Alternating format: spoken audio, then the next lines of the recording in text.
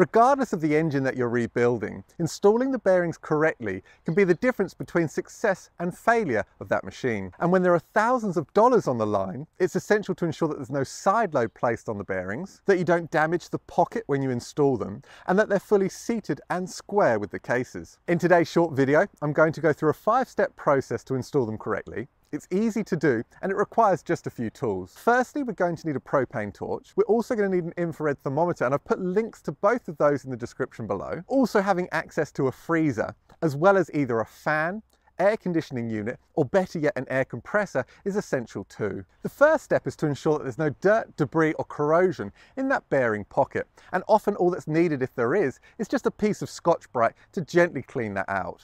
The next step is to apply a small amount of engine oil to both the bearing and the pocket too. And it doesn't really matter what oil you use. It's literally just there to reduce the chances of that bearing binding on installation. Thirdly, we need to freeze that bearing for about an hour or so. And it's not so much about shrinking the bearing as it is to stop them absorbing the heat from the cases, which could potentially lead to damage. Next, we're going to use the infrared thermometer and the propane torch on high heat to bring that bearing pocket to the manual specified temperature.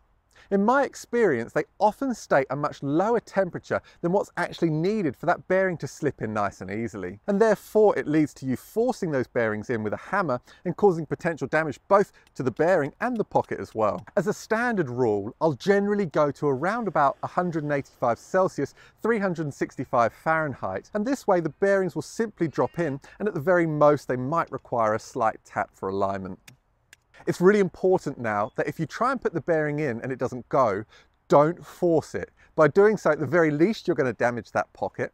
You might also damage the bearing, but you also could possibly crack and split that case completely. If it doesn't go in, stop, turn the case round, tap the bearing back out, recool it, reheat the case, and then try again. And once that bearing's been fully seated, Keep pressure on the inner race using either the install tool or a socket, and then use compressed air over the bearing and case to bring that temperature down nice and quickly. And if you haven't got use of an air compressor, using an air conditioner or even just a high powered fan can work quite effectively too. And the reason why this is so important is it stops the heat transferring from the cases and pocket into that bearing, bringing them above the factory recommended temperature. Although some bearings are able to withstand up to about 200 Celsius, 300 190 Fahrenheit Others are only able to withstand about half of that temperature. Therefore, using the combination of freezing the bearing first and then using a fan or air compressor to cool it down right after the bearing's installed, you eliminate all of those concerns. And there's a good reason why I recommend a propane torch on high heat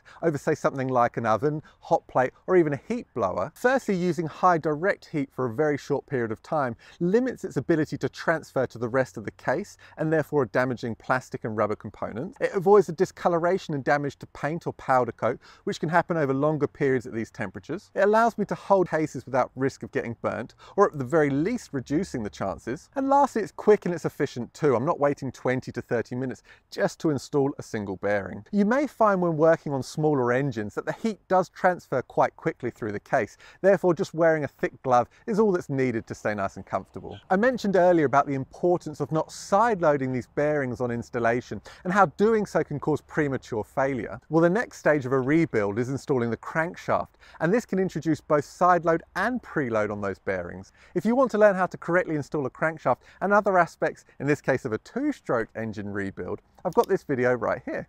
The way we do this ideally is with a crankshaft puller. And there are a lot of different ones on the market. I've used this one extensively and they have been flawless. These tools are so useful for two reasons.